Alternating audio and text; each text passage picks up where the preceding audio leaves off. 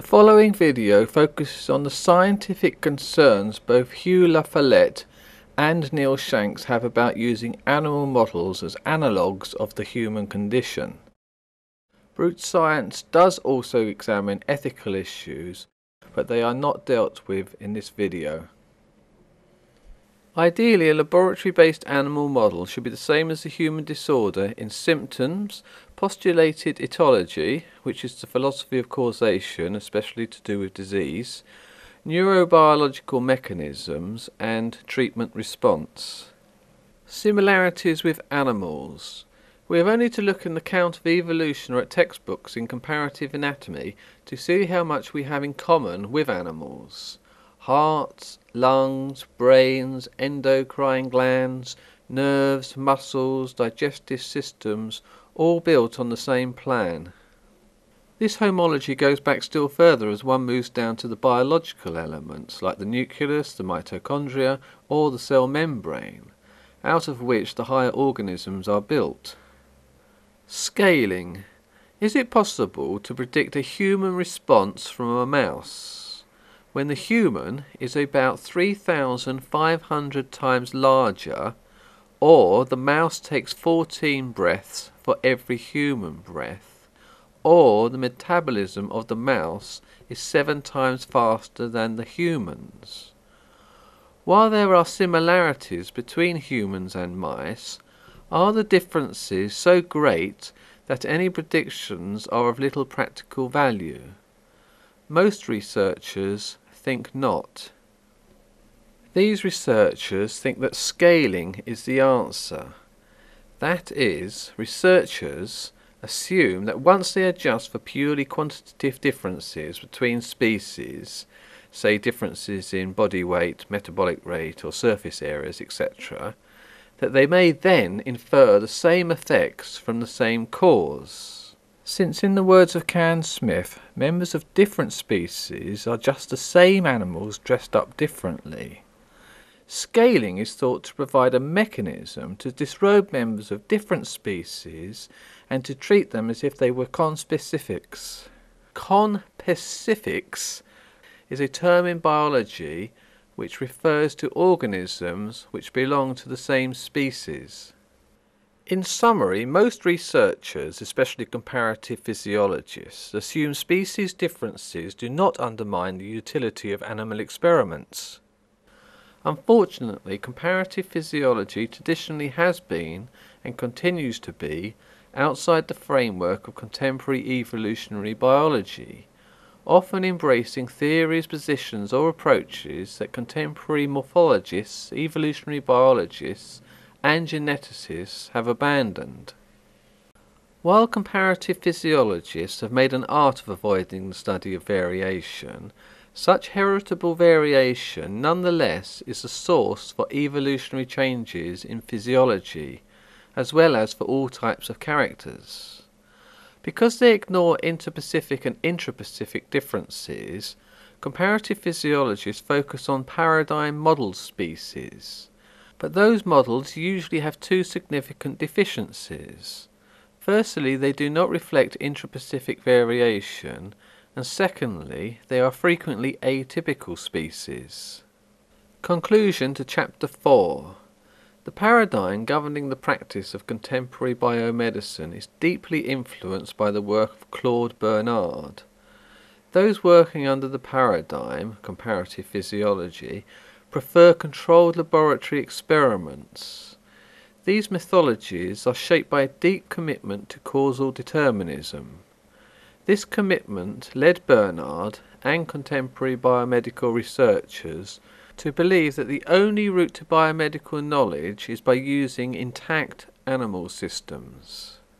They and Bernard assume that members of different mammalian species are really the same animal dressed up differently. That is, species differences are purely quantitative and may be accommodated by using the scaling formulae. Finally, many contemporary biomedical researchers have inherited Bernard's disregard for the subtleties of evolutionary biology. Indeed, most of the flaws in Bernard's views and in the current paradigm are traceable to their rejection of evolutionary theory.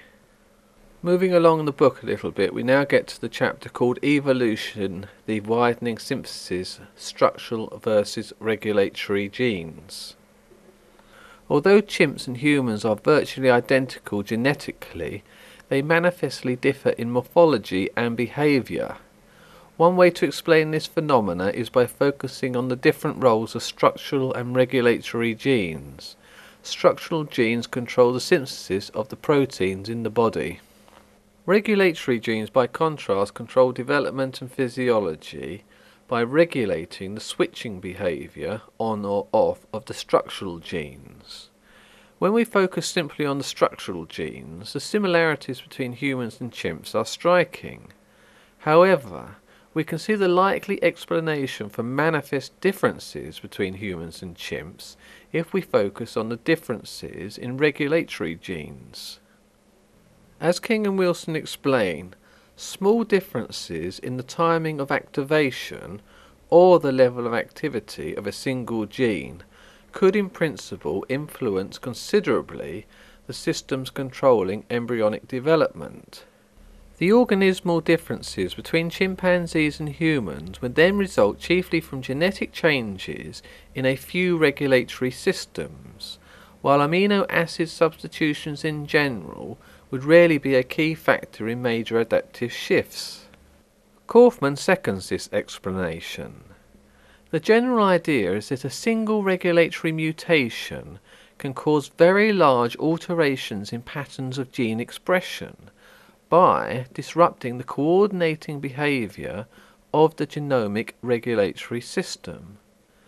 Indeed, the evidence suggests that even a few differences in regulatory genes have significant developmental consequences. These findings are crucial to proper understanding of biological phenomena.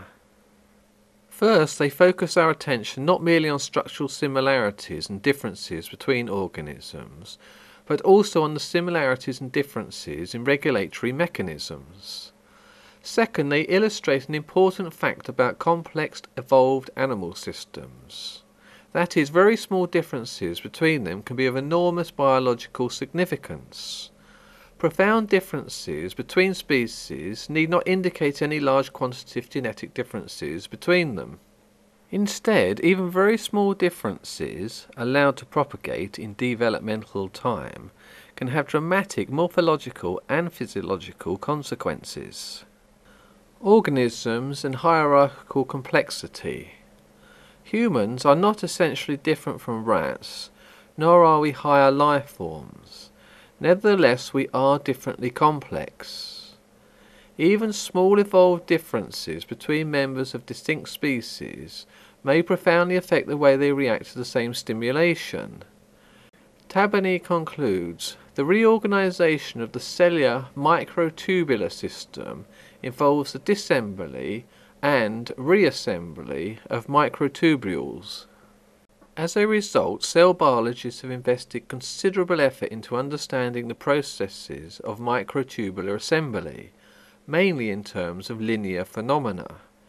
The present results show that complex biological phenomena occur as a result of nonlinear mechanisms.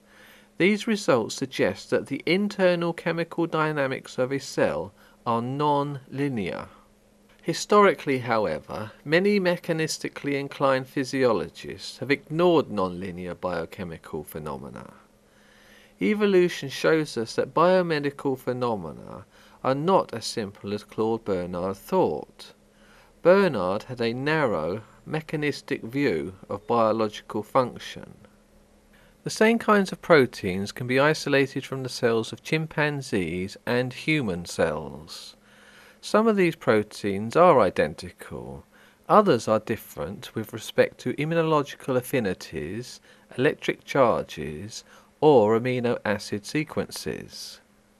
Moreover, although homologous proteins may serve similar functions, they need not. If they do serve similar biological functions, that is a contingent fact about these proteins. Other proteins may serve quite different functions, although they are homologous. For instance, horse proinsulin and mouse nerve growth factor are homologous, i.e. that is the same. The probability that their similarities in amino acid sequence could have arisen by chance is about 4 in 10 million. Nonetheless, these proteins serve quite different functions. So, although you have the same protein, the protein has different functions in different animals. Causal Disanalogy, Chapter 7 Strong Models and Theoretical Expectations.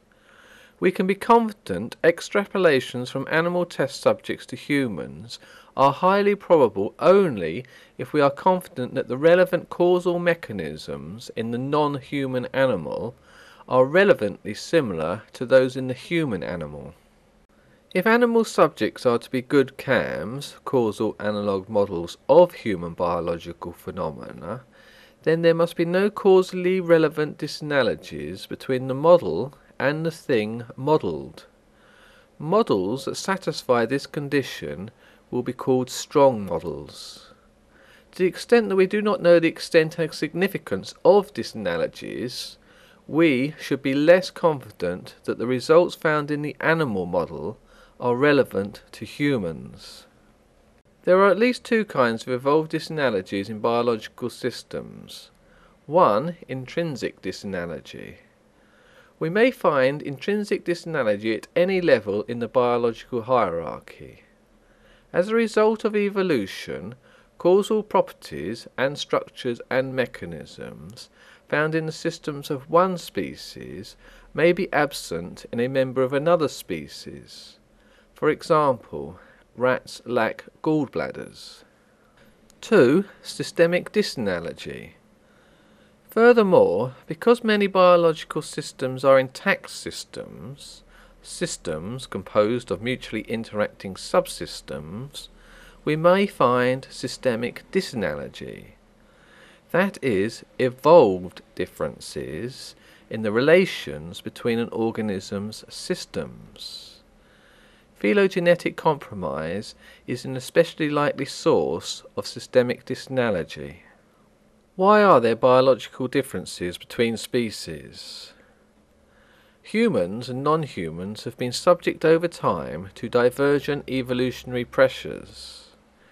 Their responses to these pressures differ not merely at the level of gross morphology, but also in terms of their underlying biomedically significant causal mechanisms. Evolutionary theory leads us to expect that we will find causally relevant disanalogies between species, which is why some drugs are safe for animals but toxic for humans, while others are detrimental to animals yet valuable for humans. We know that evolution is conservative in the sense that it uses the same biochemical building blocks across species lines, yet it is radical in that it uses these blocks to serve very different functional ends.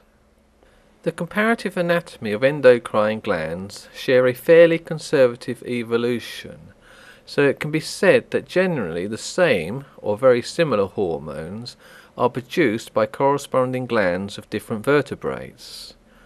Despite the glands' similarities, hormones do many different things in different vertebrates. The diverse functions of the pituitary hormone prolactin is perhaps one of the most extreme examples. According to Russell and Nicoll, ubiquitous species difference evolved to help organisms cope with their specific environmental conditions. Viruses. The Marburg virus is most lethal in guinea pigs and is often deadly in vervet monkeys and humans, but has no obvious effect at all in mice. On the other hand, the reston Ebola virus is lethal in rhesus monkeys, but has no detrimental effect in humans, although it does multiply in human hosts. Models of ischemic stroke. Some attempts have been made to model atherosclerosis in some animal species and to account for hypertension and increasing age. but it is clear that these circumstances do not reproduce the human situation. In fact, most models of ischemic stroke are derived from young animals with no underlying chronic disease or any genetic predisposition to such diseases. Wiebers et al. make it clear that the failure of animal models stem from systemic disanalogy.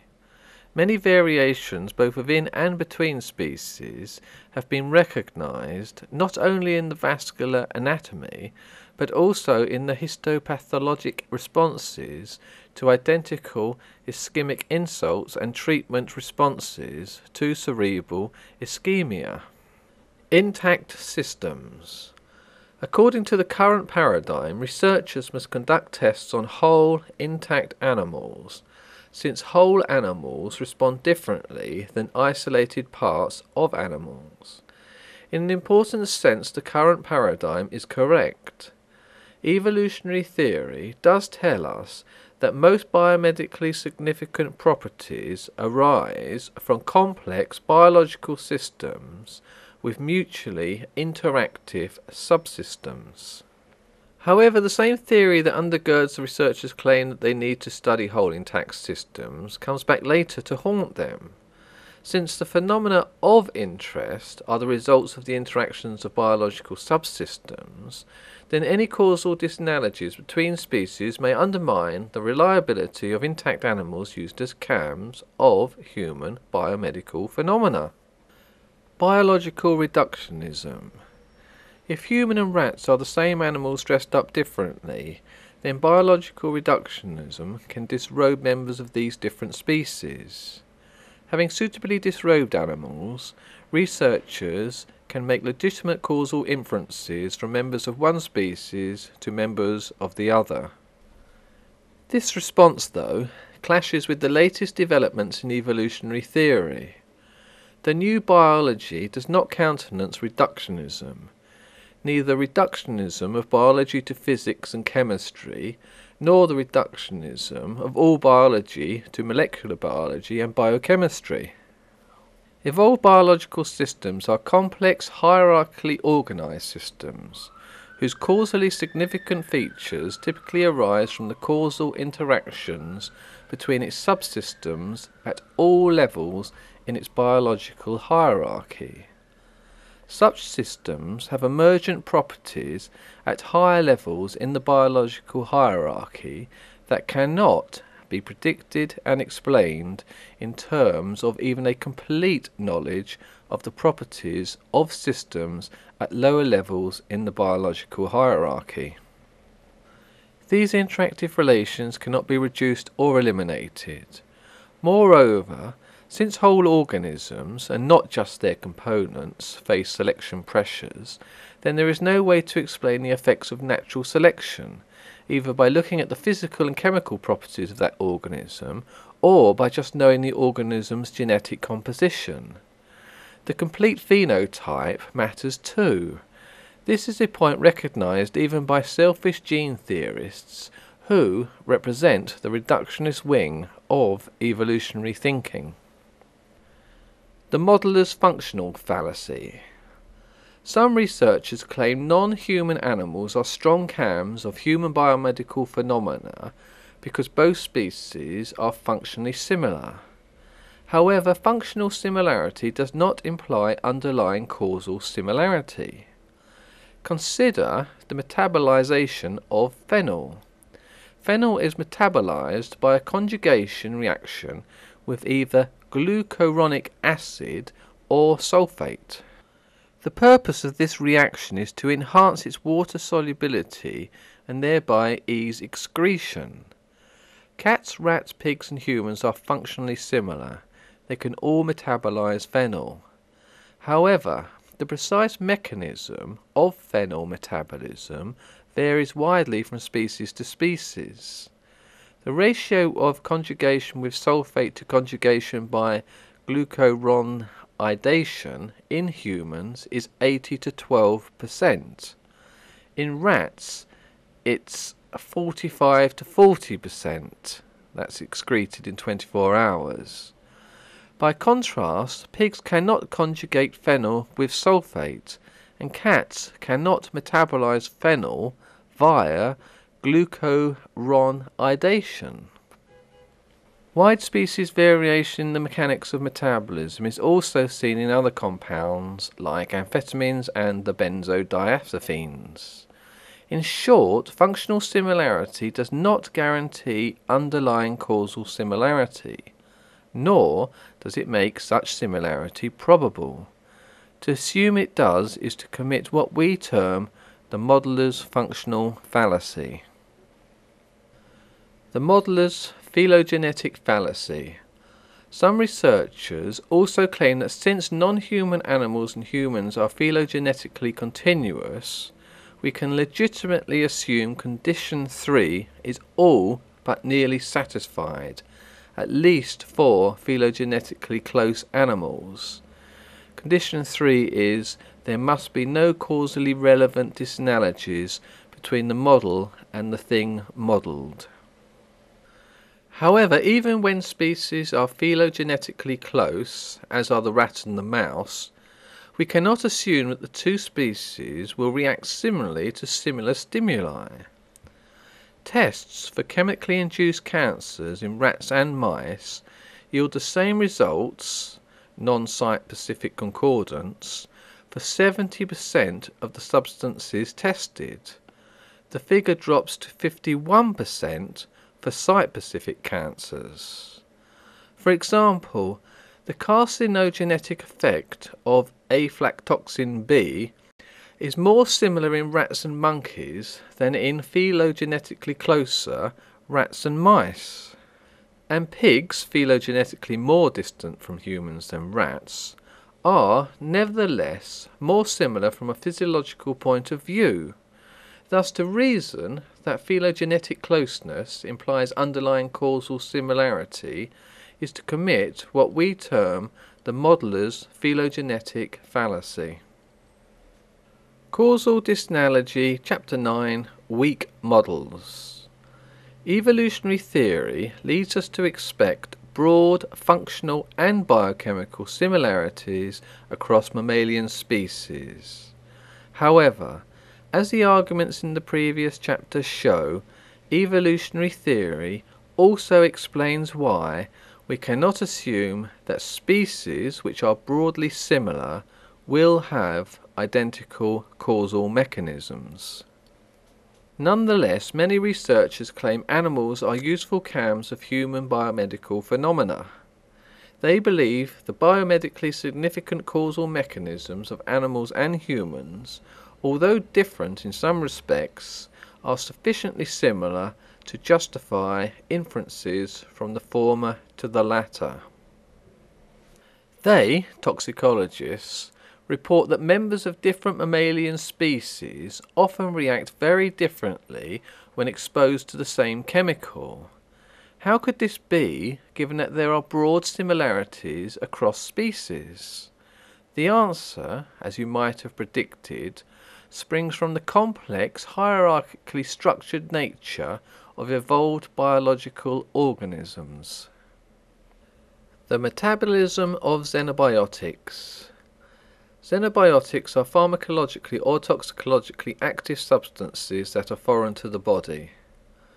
The metabolism of xenobiotics can occur in either or both of two phases. In phase 1 metabolism, the xenobiotic is metabolized through oxidation, reduction, or hydrolysis.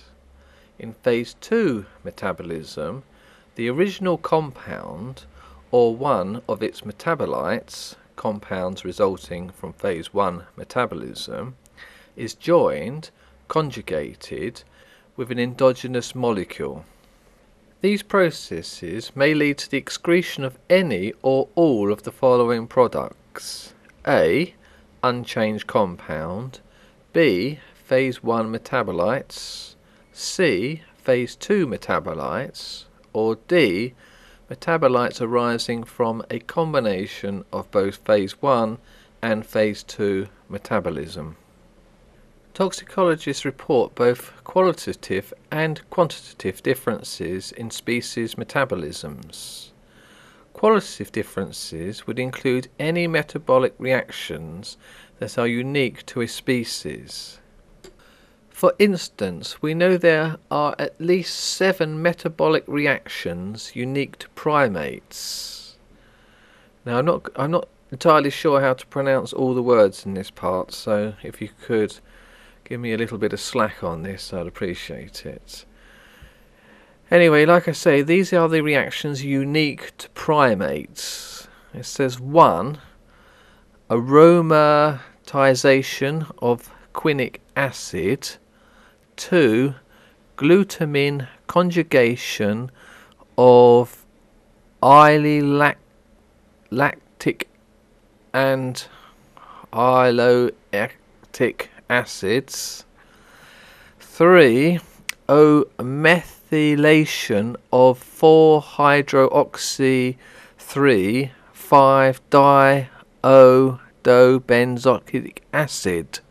4. N-glucuronidation of sulfur dimethoxin, oxin, sorry, sulfur dimethoxin. Yes, that's quite good, I think. See glucuronidation of pyrazolones. 6. Quaternization by glucuronidation of tertiary amines. And 7.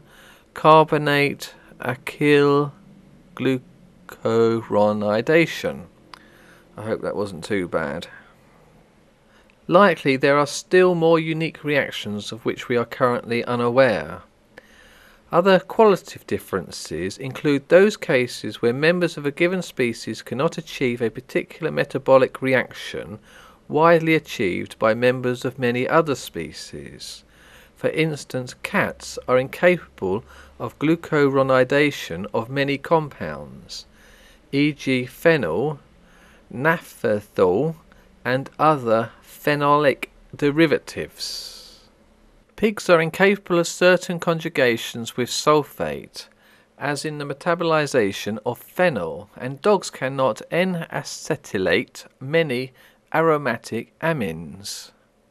We also find quantitative differences in metabolism. Indeed, these are the most common differences. These differences arise when members of each of several species use more than one reaction to metabolize a given substrate, but differ with respect to the relative extents of the competing reactions. For instance, the different ratios of glucuronidation to sulfate conjugation used by humans and rats to metabolize phenol. According to Caldwell, quantitative differences can have profound biological effects. The possible consequences of such variability can be illustrated by a compound which is converted into three metabolites. One, an inactive excretion product, another, a pharmacologically active metabolite, and a third, a reactive electrophile leading to tissue damage. In such circumstances, which are by no means unusual, variations between, or indeed within species, in the relative proportions of the compound converted to each metabolite will lead to corresponding variation in its pharmacological and toxicological profile in various species. Finally, we also find that there are some differences that have both quantitative and qualitative dimensions, for instance, difference in the cytochrome P450 enzyme system, which is the most important enzyme system in phase 1 metabolism. We now know that there are several forms of cytochrome P450. Sipes and Gandolfi comment. These differ in both the structure of the polypeptide chain and the reactions they catalyze. The cytochrome P450 composition of liver microsomes is altered by the treatment of animals with different chemicals. In addition, the types and amounts of cytochrome P450 vary with species, organ, age, health, sex, stress, and chemical exposure. As the preceding question indicates, differences in this enzyme system are not merely related to species, and thus of special interest to the current inquiry, but are also related to other intraspecific differences. Consequently, we have abundant evidence that there are clear and significant qualitative and quantitative differences in species metabolisms. However, these differences do not dampen the enthusiasm of researchers for the use of animal models. Many researchers think these species differences can be accommodated. Scaling again.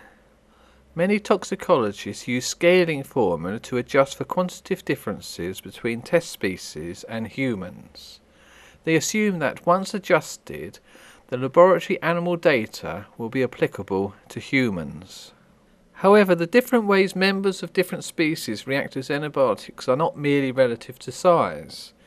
There is abundant evidence that scaling does not solve the problem of differences in adverse effects between species. There are three problems with relying on scaling formula.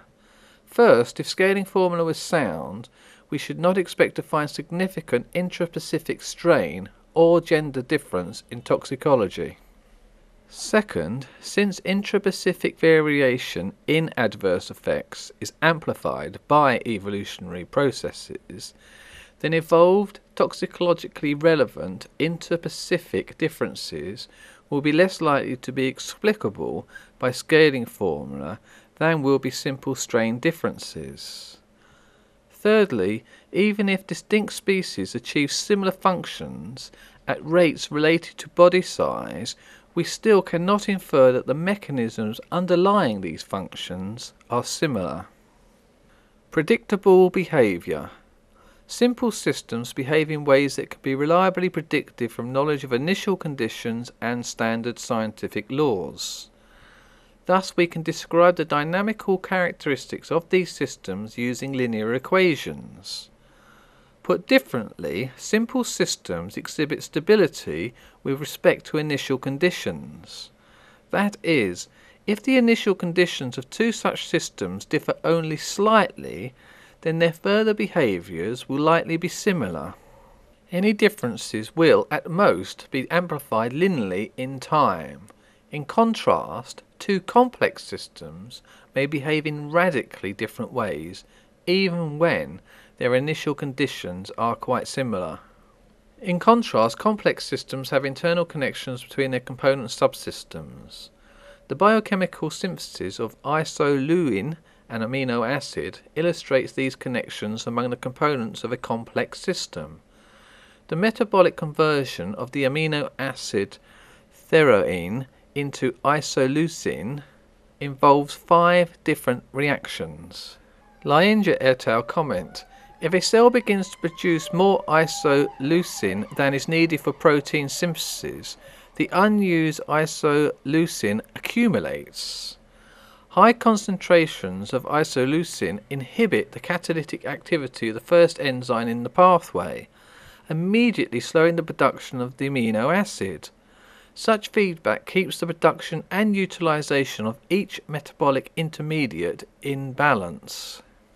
This interconnectedness between the components of a dynamical system is best modeled by nonlinear equations. Since systems whose dynamical behavior is described by nonlinear equations are designated nonlinear systems, complex systems are nonlinear systems. Consequently, even small changes at one place in such systems can have significant effects on other parts of the system. Ultimately, it can change the behavior of the entire system. Decomposability. Researchers who predict biological behavior of humans from findings in laboratory animals apparently treat biological systems as if they were simple systems. Yet the evidence suggests that the differences in adverse effects between species are common and biologically significant. The right explanation is that biological systems are not simple systems at all, but are instead complex systems with mutually interactive subsystems. Nonlinearity and dynamical systems theory. we are likely to find that the complex connected metabolism in mammals is best described using nonlinear equations. In such metabolic systems, chemical reactions are causally interdependent, and as Lehninger et al. point out, biological systems are dynamical systems. The interplay among the chemical components of a living system is dynamic. Changes in one component cause coordinating or compensating changes in another, with the result that the whole ensemble displays a character beyond that of the individual constituents. As Nicolis explains, one interesting feature of nonlinear systems is that the dynamical equations can have multiple solutions. This means that one dynamical system may behave differently as the variables representing the environment with which it interacts, its context, are changed. The mechanism which is at the origin of this diversification is the instability of a reference state and the subsequent bifurcation of new branches of states as the parameters built into the system are varied. On this account, two similar, indeed identical dynamical chemical systems can behave differently if the parameters constraining the dynamics of the system differ. Or, directly related to the current concerns, two similar metabolic systems may behave differently if the parameters fixing the context of chemical reactions differ. In mammals, we observe differing patterns of chemical activity in what are essentially similar biochemical systems.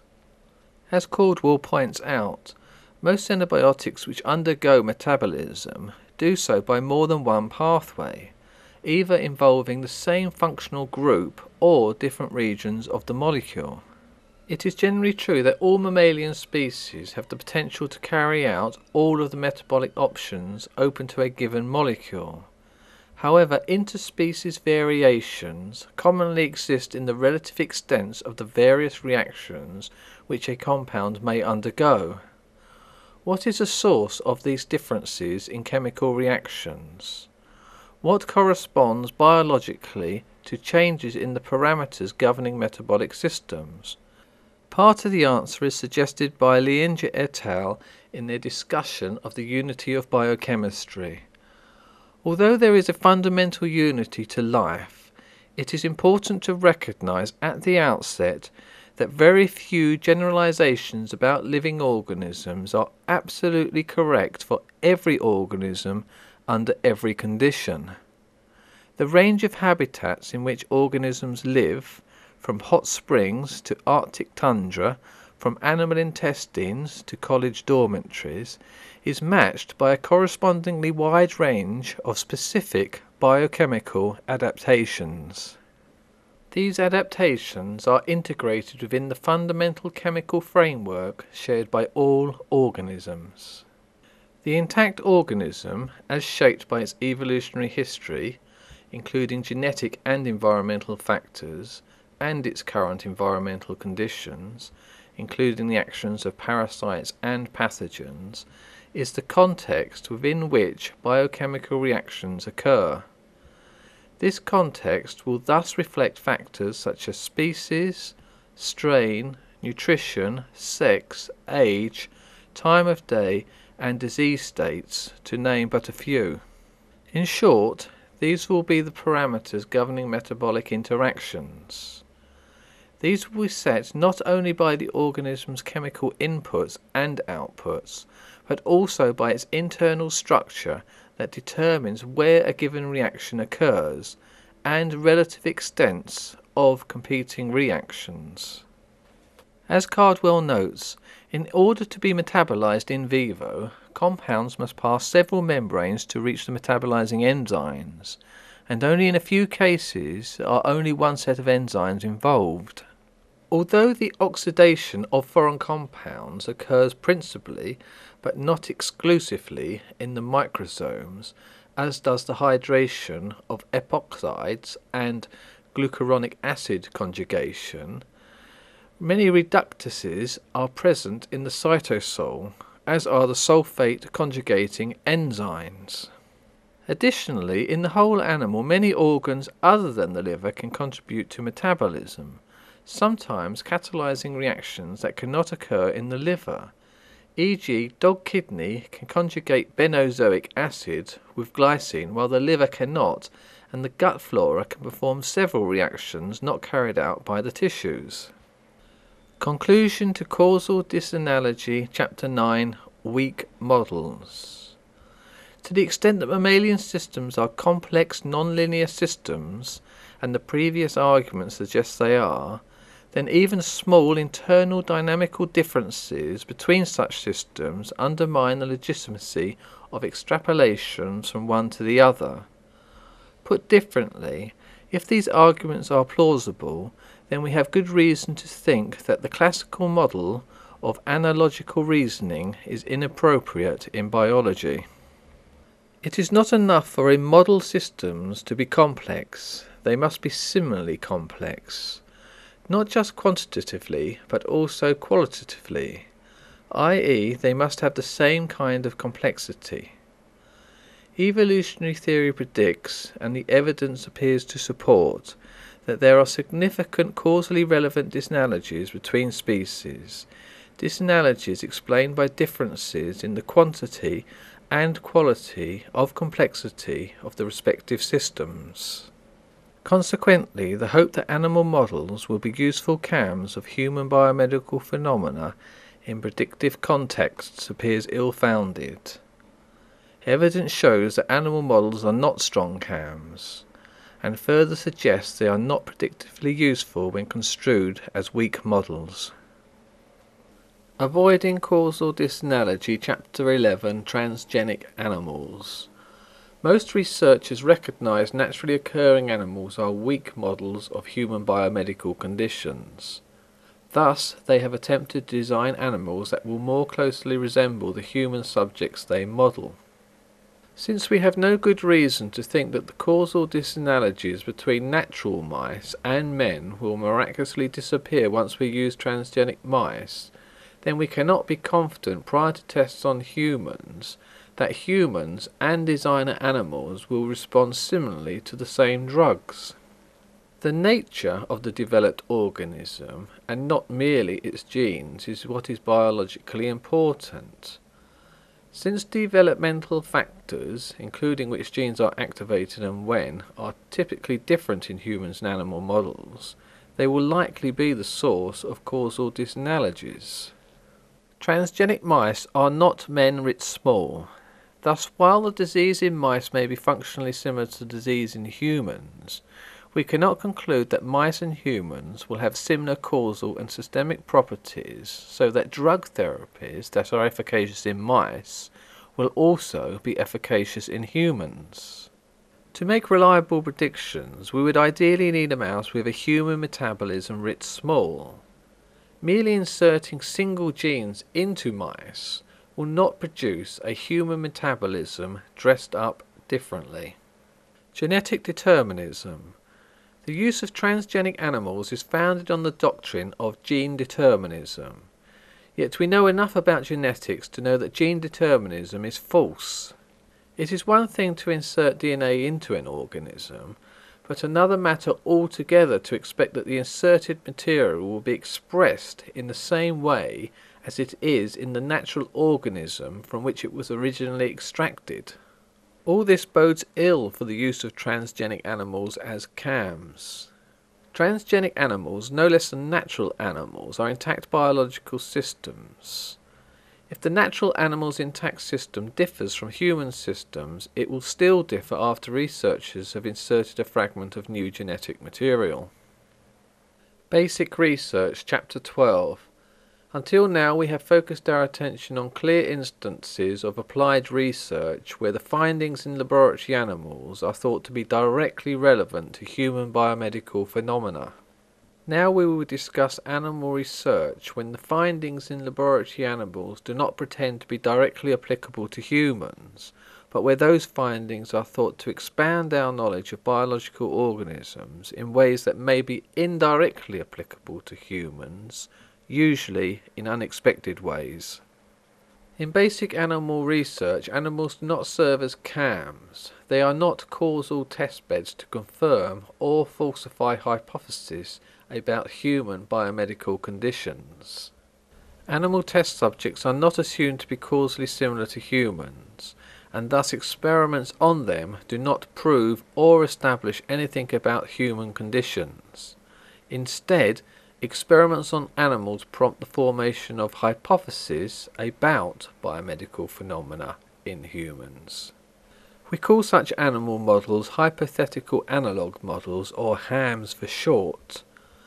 As heuristic devices to generate suggestions about human diseases, animal HAMs may be fruitful tools of basic research. HAMs may be useful devices despite causal disanalogies including differences in complexity. Evaluating basic research. Every successful research program includes failed experiments and failed lines of inquiry. As pointed out in Chapter 2, that is the nature of science. Therefore, it would be silly to expect every particular line of inquiry to be successful. Rather, we must assess the benefits flowing from the institutional practice of basic research using animals.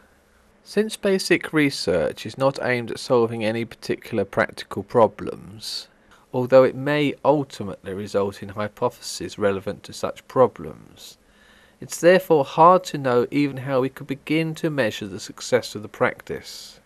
If animal models are hams that can spur research, then clinical investigations, cell cultures, computer simulations, or epidemiological studies might be equally effective hams. After all, hams may be useful even if they are not causally disanalogous to the human systems they model and even if they are not targeted at any specific practical problem. The glory of basic research is that it may be useful in unexpected ways. As Kornberg notes, some advances in biomedicine have come from these non-animal mythologies. Investigations that seemed irrelevant to the attainment of any practical objectives have yielded most of the major discoveries in medicine. For example, X-rays were discovered by a physicist observing discharges in vacuum tubes. Penicillin was isolated during enzyme studies of bacterial lysis and genetic engineering recombinant DNA were developed from the study of reagents used to explore DNA biochemistry. Furthermore, by the early 1960s, epidemiologists discerned a strong correlation between lung cancer and smoking. Nonetheless, efforts to induce lung cancer in non-animal human cams failed. Of course, these examples do not establish the success of non-animal research methods. However, they do suggest that these methods may be an important source of biomedical discovery. Conclusion Chapter 16 As a society, we have been so convinced that animal experimentation is astoundingly beneficial to humans that we have not tried to determine those benefits precisely. Of course, cell cultures will not behave exactly like an intact human animal, but often neither do non-human intact animals. And finally, isolated examples explain or illuminate nothing. They become significant only in the context of well-confirmed scientific theories, theories such as evolutionary biology, which shape the way we conceptualize evidence.